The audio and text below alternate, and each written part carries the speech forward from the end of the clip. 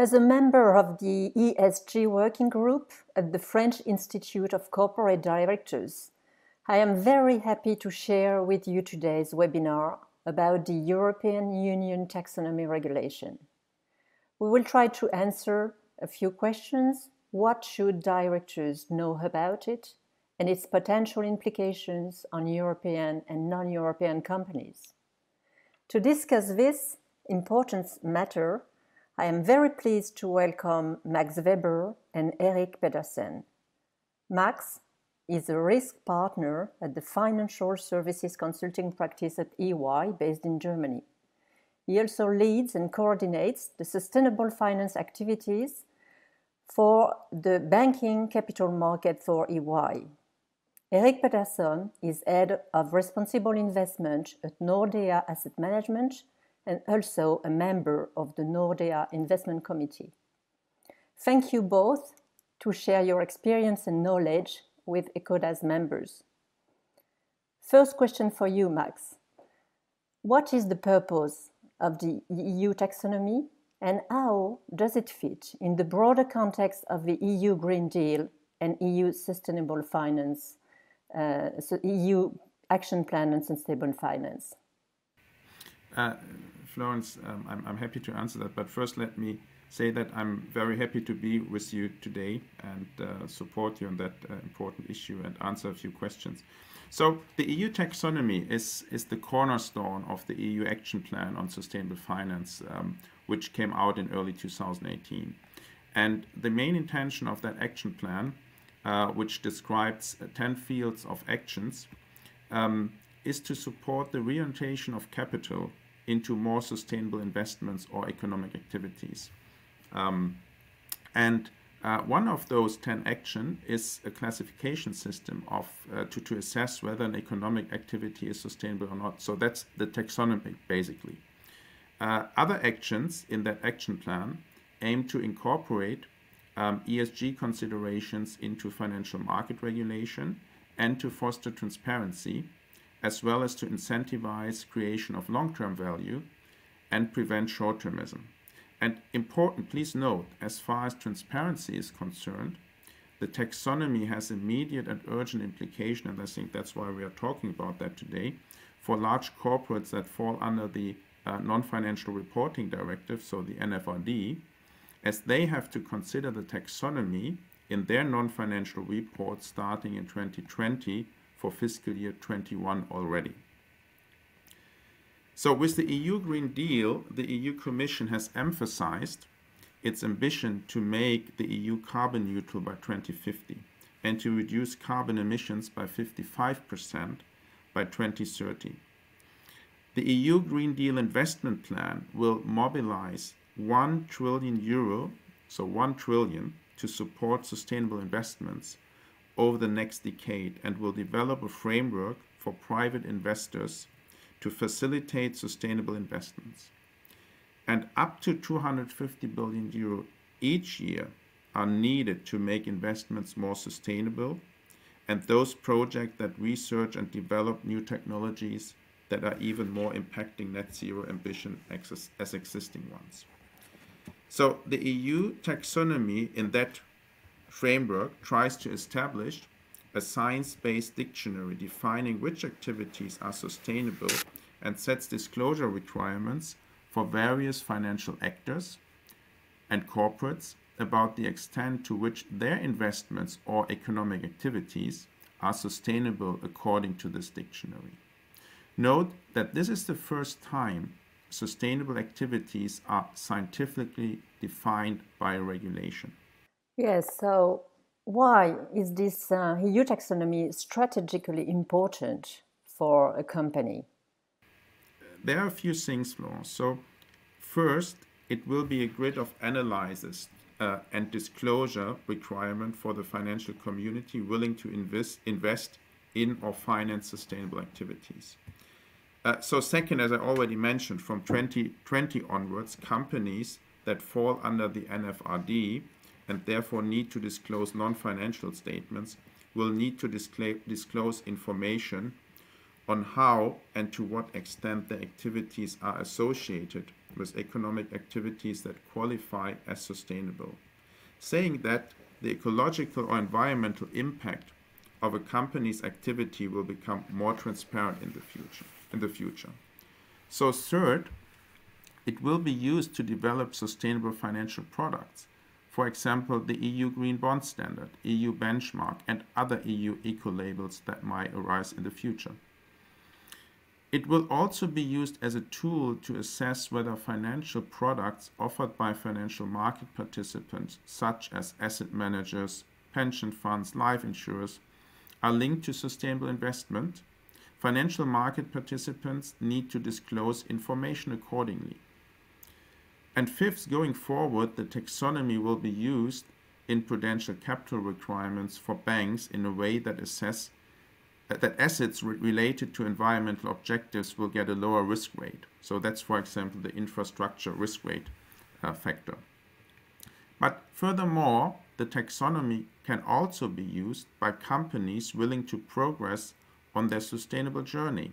The taxonomy is a valuable tool to set strategic targets to move, shift sustainable activities and track progress. Also, the taxonomy can be used and most probably will be used by the EU itself and national states as screening criteria for public procurement, public aid, and recovery plans. In addition, it is most likely that banks in the future will use taxonomy or technical screening criteria, we come to the technical screening criteria later, in their decision whether to grant a loan or to which conditions as they have to disclose green asset ratio for their loan portfolio from 2020 onwards themselves. And finally, it can be used or will be used by risk managers to assess the transition risk of a financial services firm's portfolio. Thanks, Max. So we understand that the EU Sustainable Finance Package really appears to be the most ambitious legislative plan globally to shift capital flows to sustainable activities. And the EU taxonomy is a cornerstone of this EU package. Max, can you dive a little bit more into the taxonomy and, and tell us what is considered a sustainable activity? Sure, and, and in a very formal way, and I now need to go a bit uh, deeper into the, uh, in, into the taxonomy itself. So in a formal way and according to Article 3 of the regulation, an, an economic activity can be classified as a sustainable activity if it substantially contributes to one or more of the six environmental objectives and does not significantly harm any other of the six objectives. We come to the six objectives in a second. The activity then also needs to be carried out in compliance with certain minimum safeguards. Uh, for example, the International Bill of Human Rights, ILO Convention, OECD guidelines for multinational enterprise, etc. And these safeguards then will cover the S and G in the broader ESG context. So now what are the six environmental objectives? Um, climate change mitigation and climate change adaptation. These are the first two uh, objectives and I think when we look at the current discussion about climate change and so on, the most important ones. Then we have four others, sustainable use and protection of water and marine resources, transition to a circular economy, pollution prevention and control, and finally, protection and restoration of biodiversity and ecosystems. So these are the six environmental objectives. For each of these uh, environmental objectives, the EU Commission will then issue delegated acts with detailed technical screening, uh, screening criteria. And for the first two objectives, so as I think the most important ones, climate mitigation and climate adaptation, um, these criteria have already been drafted by the so-called technical expert group and issued in a draft delegated act that shall be published very soon we expect April, maybe May, because there are still some political discussions ongoing. Uh, for the other four objectives, delegated acts are announced to be published later on for application in 23. Yeah. So now when we look what needs to be done, to assess whether an economic activity substantially contributes to an environmental objective. First, it needs to be part of a list of activities identified in the delegated act and reference to NACE macro sector. So that's the first step. And then the activity needs to meet several technical screening criteria to assess whether it is eligible at all to contribute uh, to the objective and scope. If that is the case, then the do not significant harm or DNSH test need to be performed to make sure the activity does not harm any of the other environmental objectives. Finally, the activity, as I said, must meet the social minimum safeguards. For climate change mitigation, then it is important to mention that climate change mitigation includes, on the one hand side, activities that are already low carbon, but also activities contributing to a transition to net zero emissions economy by 2050, so the so-called transition activities, and finally so-called enabling activities. So transition activities are those activities for which there are no technological and economically feasible low carbon alternatives today, but that support the transition to a climate neutral economy in a manner that is consistent with a pathway to limit the temperature increase to 1.5 degrees Celsius above pre-industrial levels as we have all agreed in the Paris Agreement. So, for example, by purchasing greenhouse gas emissions. Um, Please note that there is currently uh, intense debate around which activities should be regarded as transition activities, in particular when we talk about gas and nuclear power. Um, enabling activities are those activities that, by provision of their products or services, enable a substantial contribution to be made to other activities. That is, for example, the manufacturing of low carbon technologies that can be used by other firms or the storage of thermal energy. Transitional activities are those activities that support the transition to a climate neutral economy by phasing out greenhouse gas emissions. So it is important to note that the current EU taxonomy does not currently assess which activities should be seized in order to achieve EU climate goals. Okay, so um, that's very uh, very important criteria, all those, and, and, and it's, it's a very technical uh, regulation actually. So uh, it could be um, nice, Max, if you if you provide an example of how it works. Um, can you uh, provide this on, on a specific industry, for example? Yeah, yeah. No, Florence, that's true. That's very uh, technical and and um, most probably not easy um, to apply. But but let's try it with a, with a simple example. And um, I, I, picked an example from the automotive industry, yeah, because that's of course very important at the moment. And um, we, we have a company that manufactures passenger vehicles, for example. Um, and um, the company has started to produce uh, electro cars and, and also cars with hydrogen energy uh, engines. Sorry. Um, but however, of course, um, it, it's, a, it's a traditional automotive firm. Um, so uh, the, the turnover of that company um, still is 60% in the com combustion segment. Yeah. Um, and uh, and that segment is not taxonomy aligned because that's not an activity which is within the taxonomy. Um, however, 30% of the turnover of that company uh, is linked to electromobility and hydro and and and 10% uh, is linked to hydrogen mobility. Yeah, so let's take that as an assumption. And um, for the activities then electromobility and hydrogen mobility, um, we need to apply the relevant technical screening criteria. Yeah, uh, so we have identified these are two uh, activities which fall uh, under the uh, taxonomy um, and now we need to go into the technical screening criteria and we find out that both of these um, uh, engines, uh, electri- electromobility and hydrogen mobility or engines, those are um, taxonomy aligned activities because they substantially contribute to climate change mitigation. Yeah. Um, and furthermore, um, we also found out that they do not significant harm any of the other five uh, objectives.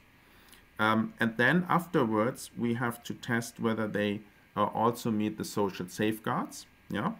And um, then if we say, okay, yes, they meet the social safeguards, then we can say that uh, from that company, 40% of the turnover is taxonomy aligned. Yeah. And why is that information important? That information is important, for example, for a fund manager who has promised within um, uh, to, to, to the investors that a certain degree, a certain percentage of um, the, the, the, the, the assets in the fund are taxonomy aligned. Um, so, and um, when we look at companies, of course, we need to define which part of a company is taxonomy aligned. So that's why that information, 40% is taxonomy aligned, is important for uh, financial market participants. So I hope, Florence, that this example uh, made it a bit, a little bit clearer at least. Yes, yes, thank you. And and uh, so we see that there are technical criteria that are very well defined um, uh, will that taxonomy evolve over time, or is it, you know, fixed already? no, it, it will evolve over time, and I, I think they, the the Commission made that very clear when formulating the taxonomy, and and why? Because we have technical improvements over the next couple of years, and not over the next couple of years going forward, and um, um, we, we the, the, the environmental objectives also may change. We don't know yet. We have now these six environmental objectives. Maybe we have other environmental objectives in, in, in, in 10 years or so. And then I think that's uh, maybe the most important issue when we look at the activities which are at the moment um, in the taxonomy or in the technical screening criteria, we are still missing um, activities which we think will substantially contribute uh, to one of the objectives. So, and, and this is also where we see new technical screening criteria or the screening criteria change in the future, that we will have additional activities to include into the, uh, to, into the taxonomy. And for example, transition activities should be reviewed uh, every three years. Yeah, so that's also uh, which is written in the taxonomy. And um, to review the criteria, the Commission has set up the so-called platform on sustainable finance. and this platform on sustainable finance, for example, also define the technical screening criteria for uh, the, the, the, the, four um, uh, objectives where we don't have the technical screening uh, criteria at the moment.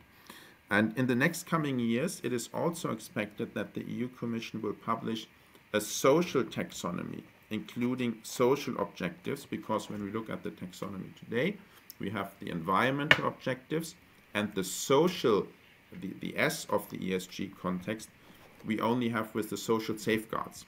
Yeah, so more implicitly. And with the social taxonomy, we then will have it explicitly. Okay, um, now, um, what, could you tell us which companies uh, fall under the scope of the taxonomy and what information should those um, uh, companies disclose? Yeah, happy to do so. So uh, again, let, let me go into the in, into the regulation. According to Article One of the regulation, um, the regulation applies to, on the one hand side, financial market firms that offer financial products, and I already mentioned asset managers, uh, life insurances, and so on um, or banks that offer portfolio management. and on the other hand, corporates that are required to publish a non-financial report. That means those corporates, large corporates that fall under the non-financial reporting directive. So financial market firms, let's go to this uh, part of firms first, that offer the before mentioned products, so financial service products, need to disclose amongst other whether ESG products or sustainable investments that they offer to their customers are taxonomy aligned. This applies from 2020 onwards as regards to climate change mitigation and climate change adaptation, and then from 23 onwards for the other four environmental objectives. This information needs to be disclosed in the pre-contractual information and on their websites. Yeah? So, and then we have the corporates that fall under the requirements to publish in non-financial reports. And these um, corporates need to incorporate uh, certain KPIs in their reports. Article 8 of the taxonomy regulation requires corporates to report how and to what extent their activities are associated with taxonomy aligned activities in connection with the non-financial reporting directive. So non-financial firms are expected to report their alignment with the EU taxonomy both in terms of proportion of their revenues or turnover. So that was my example with the turnover uh, and expenditure, capital expenditure and operational expenditure. This applies from 22 onwards as regards to the climate change and um, uh, climate change mitigation and adaptation, and from 23 onwards again for the other four environmental objectives. Uh, we are still expecting level 2 regulation that should be more precise on what corporate then exactly need to disclose, most probably with, with templates, with tables, uh, and, and maybe a bit more details on the how to calculate the KPIs, turnover, capex, opex, and so on. So looking ahead uh, a bit more on the timeline with the planned revisions uh, of the non-financial reporting directive, uh, non-financial reports and with that uh, the information of revenues, turnover, capex, opex related to sustainable activities will become much more important. That is because, amongst others, the revised uh, NFRD intends to incorporate the non-financial report into the management report or annual financial statements. And with the latter, some voices in the consultation process of the new NFRD recommend that the non-financial report shall be audited in the statutory audit. So that makes it much more important. Yeah. And also, of course, reputation risk will, will, will rise. Um, the NFRD today applies to large undertakings, public interest entities exceeding on their balance sheet dates the criterion of the average of uh, number of uh, 500 employees. Yeah, this limitation in scope may be lifted with the revised NFRD. That means smaller entities could fall under the requirement to report turnover revenue and capex opex for their sustainable activities under Article 8 of the taxonomy regulation. And even the so-called small medium entities, SMEs, uh, will, will not be in scope of the revised NFRD. They are impacted indirectly. Why? Because, for example, banks need to disclose then going forward under the taxonomy a so-called green asset ratio. Yeah, and that's also from 2022 onwards for the loan portfolio. And that also includes loans to SMEs. And to calculate this green asset ratio for an SME loan, banks need to gather the required information. So if we have corporates that do not uh, or are not um, obliged to uh, disclose information under under the taxonomy regulation, uh, banks and that corporates need to um, agree on bilateral agreements to exchange information so that banks are able to calculate that green asset, asset ratio based on the taxonomy. Okay, so we can see that the scope of companies that are included uh, is quite large, and, and, therefore, what kind of impact, if any, do you anticipate on companies' strategy and business models due to this uh, new regulation? that's that's a good question and of course strategic question. And and um, of, of course we are very early in the process um, and and I think we cannot predict everything today. But I think let's try. So first of all I think it's important to mention that the taxonomy does not prevent financial market participants to finance or invest in activities that are not eligible to the taxonomy yeah also, not all economic activities that might contribute to mitigate climate change or support transition are covered today by the taxonomy. That's what I mentioned already earlier. Yeah. So, no need to. No one says you have to. But the taxonomy in combination with the non-financial reporting directive and the so-called sustainable finance disclosure regulation, that's the thing I mentioned earlier when I said financial market participants that offer financial products need to uh, disclose in pre-contractual information uh, about the taxonomy alignment of their investments. So the NFRD, the Sustainable Finance Disclosure Regulation, and other regulatory measures like the ECB Guide on Climate-Related Risk and the discussion about a green supporting factor or brown penalizing factor in the capital requirements regulation for banks, all this will lead to a massive shift into more sustainable activities within the next decade. Besides large investors, institutional investors like Allianz, BlackRock, and others, uh, have already announced to shift their capital into green assets uh, or companies that substantially contribute to net zero economy within the next 20 to 30 years. And at least for European companies and non-EU companies that want to invest in Europe, the taxonomy will be a guiding principle to label economic activities and investments as green or sustainable. Maybe the EU taxonomy will be aligned to other taxonomies from other economic regions or into global taxonomies, but the guiding principles behind will remain the same. So, to your question, not only from a pure non-financial reporting perspective, it is crucial to analyze the economic activities of your company from a taxonomy perspective and the impact on financing these activities in the future.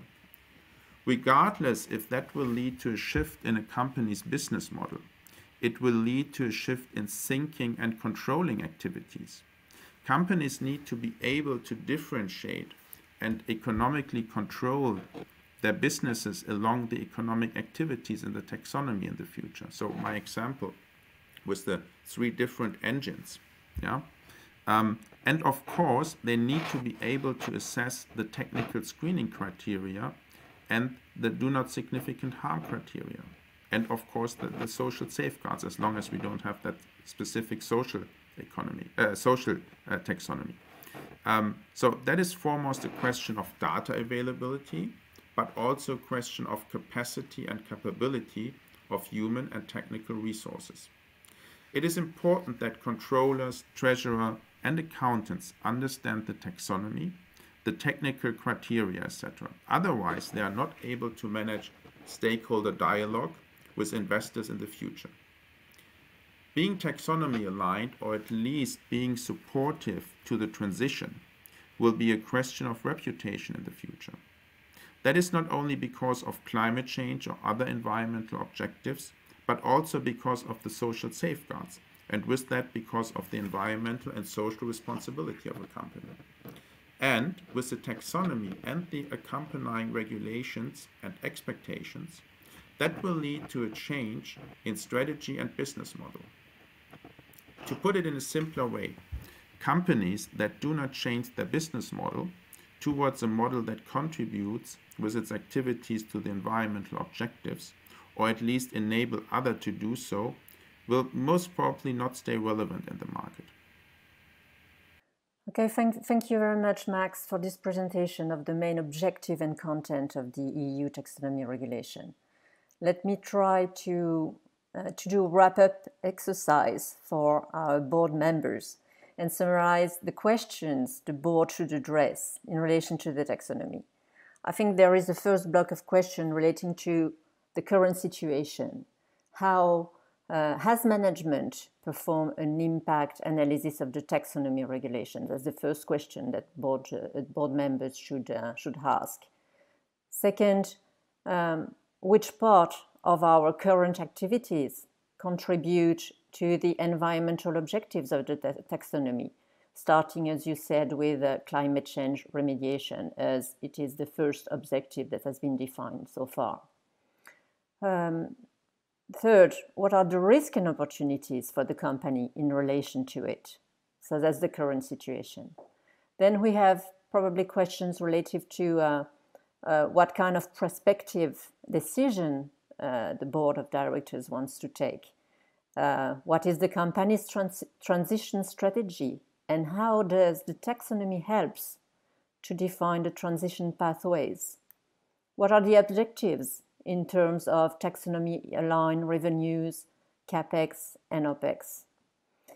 Um, I can see also that there are other questions relating to disclosure and due diligence. First thing, very practical, are we able to provide the information related, uh, requested by the taxonomy with a reasonable assurance on the accuracy of the data and the information disclosed?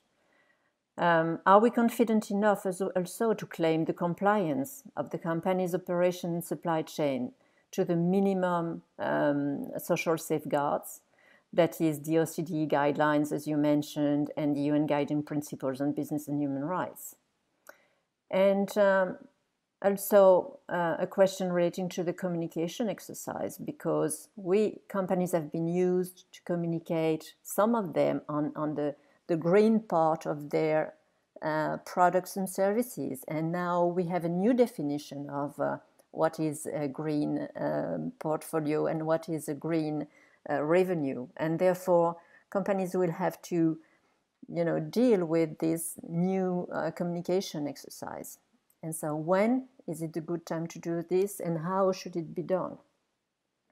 And the last question maybe would be to um, how do we align um, companies' interest and the remuneration of uh, executives on this subject matter, and therefore should new targets linked to sustainable activities uh, objectives be included in executive remuneration. So, some are the questions that um, uh, board members could um, uh, raise uh, in, in, in, in relation to this uh, new regulation and more broadly to the uh, sustainable finance plan of the EU Commission. Now, Eric, I have some questions for you and would like your views as, as a asset manager. Um, first question combined with the sustainable finance disclosure regulations, which implications do you anticipate on your investment strategy? Yeah, I think for, for, for us uh, at Nordea, the implications are maybe uh, not so big. I think what it will mean for us is that more and more of our products will move into to the part of our products that we call the, the sustainable or the ESG ones. But we've worked with this for quite a long time. Uh, so, so there aren't that many surprises. But I think for the wider markets, uh, what you will see also is that that more and more asset managers will be taking ESG into account and sustainability into account in a, in a totally different way from what, what has happened before. Uh, and in fact, uh, I, I, see that within two, three, maybe four years, uh, I would think at the maximum, you will find it difficult to to sell in the market to retail investors in Europe uh, any products that are not under the SFDR uh, classified as Article 8 or 9. So the Article 6 product will be difficult to sell, and that means that asset managers will also uh, stop stop uh, managing these products, and, and and that means that if it's only eight or nine, then there are certain criteria that companies have to live up to to, to qualify for those investment portfolios. So uh, for our strategy, uh, more concentration, even more concentration towards the ESG, towards the sustainability side. Uh, and for the wider market, I think uh, even a more important shift than, than, what we will see internally at, at Nordea. Some market participants fear that the taxonomy regulation could create a green asset bubble. What do you think of this? Could it lead to a shortage of financing for those activities that are not taxonomy aligned? Yes, well, I, I often get this question about uh, a potential green bubble. And, and I think there are two ways to answer it. And the, the first one is a little bit, uh, you know, uh, flippant answer is that, well, if it's a bubble, it's a bubble that's not going to burst for another 50 years because, uh, you know, th- these green activities will be attractive or will be necessary until we have fixed the climate crisis, which is uh, unfortunately not being uh, going to be tomorrow or next year or the year after. So, so, so there's quite a long horizon, and, and the other answer uh, is is one that's more from the point of view of the European Commission. Uh, because what what what this whole sustainable finance disclosure regulation and the taxonomy regulation and all the other parts of, of the green finance plan for Europe uh, are supposed to do is to redirect capital from from those activities that have you know, uh, high emissions of greenhouse gases uh, that are in other ways environmentally or socially unsustainable, uh, to those activities and those modes of production, forms of production uh, that that create value in a way that does not have these negative externalities. So that is what the Commission wants. And, and yes, you will see. Uh, I wouldn't call it a bubble, but you will see, and you see it already, that that companies that have their house in order from a sustainability point of view, uh, they have higher valuations than than those that do not. Uh, part of this is risk. Take an electricity utility company uh, if if you don't uh, have you know if you have an electricity company utility that hasn't started the transition that is still completely let's say in coal-based uh, power production has not done any investments into renewables there's a huge transition risk there and therefore investors will tend to avoid it so so there's uh, you could say a risk-based reason for for why that company would have a lower valuation than another similar company that has already made those investments and then uh, on the other hand, there's also that's the regulation driving investments because it's it's making consumers aware, giving consumers the information to choose, and making consumers aware what investment products they want to choose. From from a sustainability point of view, that is then also guiding in turn the asset managers, and that means that more asset managers, especially for those activities that are uh, fully taxonomy aligned, of which there are very few today, uh, clearly a lot of money is going to run after those uh, stocks and bonds. And and therefore you will see that that, that they will become more expensive. And then you can discuss uh, you, do you want to call it a bubble or not? Uh, that is exactly what what the commission wants. It's it's not a bug in the system it's a feature. It is what the european commission wants to happen. What will be the implications for non-eu companies in your portfolio and non-listed companies or smes that do not fall under the scope of the uh, non-financial reporting directive yeah, let's let's take that in in two bites. So so for for listed companies, for the larger companies that are part of of our regular investment universe for for uh, uh, for the normal investment funds, uh, even if they are not based in the EU or even if they don't have operations in the EU, they still want European investors. Uh, and European investors will not be able to buy them for Article 8 or 9 products, uh, probably not even for 6, because even in Article 6, the, the, the SFDR says that you need to to incorporate uh, sustainability risk into the way you manage your portfolio. So companies that don't want to provide this information are basically going to make themselves out of scope for investment by, by European investors.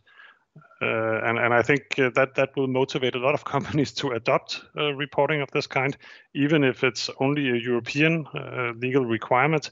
It's effectively going to become a global standard because such a big part of, of the investment industry is in Europe, and and uh, it's it's very hard for companies to rely only on US or Asian investors. Now, uh, when it comes to the non-listed companies and the SMEs, yes, if they have less than the 500 employees, then then they can call themselves out of scope and and not uh, report on on sustainability factors, on ESG factors, but but they will run into this. Uh, you know, if they are partially owned by private equity funds, then at least some of those private equity funds will be wanting to follow uh, some of the SFDR, and therefore they will they will uh, ask these questions. And of course, as private equity investors, they have power on the board, so they will be be be uh, basically directing the companies to follow this. And uh, when it comes to to SMEs, uh, even if they you could say they are maybe family owned or not dependent on on outside shareholders, uh, most of them will still need bank financing. And what is maybe not so often discussed is that while this regulation applies to uh, investment funds, to asset managers, to pension funds, and so on, banks are at the same time going through some of the same exercises and and uh, uh, some of the, of course, the Nordic banks uh, clearly, but but also some of the Dutch and some of the big French banks I know are already asking these questions of their clients. So so I don't think that uh, even if you are legally out of the scope uh, of, of, of all of this regulation, that you can necessarily escape it because some of the financial counterparts that you're going to have will be subject to the, the legislation or will want to opt into that legislation. And the last question for you, um, Eric. which advice would you give to a board member in the next, in this new context? Yeah, so so I think the advice that I would give and what I would be uh, sure to make certain of if if I was on the board of uh, a company is that the management has has really thought this through in relation to the activities of the company that that uh, uh, there is a, a, clear understanding first of all of what this regulation implies uh, which channels it can influence the company through. So bank financing private equity ownership uh, uh, securities markets financing and so on. And and and also what the company then needs to do. So so as a company you have to decide do we want to go along with this or do we want to rely investors that maybe on investors that maybe don't care uh, of which i think there are going to be fewer and fewer there will still be some of course so that's a choice you can make but you have to make it a conscious choice so so you need really to have uh, a, fair uh, dialogue with with the management of the company and in the board about how is your company going to position itself uh, in, in relation to the taxonomy, in relation to SFDR, uh, to the whole European Green Finance Plan. What is it that you want the regulators to see? What is it that you want your clients to see? Uh, because in many cases, if you have uh, retail end users of your products, uh, that that can also be an important avenue of influence. So you need to decide very, very consciously where do you want to be on the spectrum of, of from very sustainable to to to not sustainable at all, uh, what are the implications of that under the regulation in terms of financing and so on? Uh, and, and what are the steps then that the company needs to take to bring itself to the place where it wants to be? Uh, because there is a, unfortunately no business as usual here. It's it's it's not going to be something where you can just say yeah yeah and lean back. Uh, uh, it it will take a lot of work. Uh, it will take a lot of planning. It will take even investment in in many cases to to to get to where you want to be, but but but that is something that you need to decide. Uh, and and I would say that if you're starting to do that now, you're already probably a little bit late. So so this is something that as a board member or, or even as a as a chair uh, of a board, I would put at the top of the agenda, uh, not just as as one item on one meeting, but but really as something that is uh, very very important strategically for for the future of the company. To conclude this video, I would like to thank EY and Nordea, and more specifically Max and Eric for their time and for sharing their knowledge and experience with us. I would also like to thank ecoDa, the European voice, voice of board members, for hosting this video, which is the first of a long series to come. So thank you very much all. I hope you enjoyed it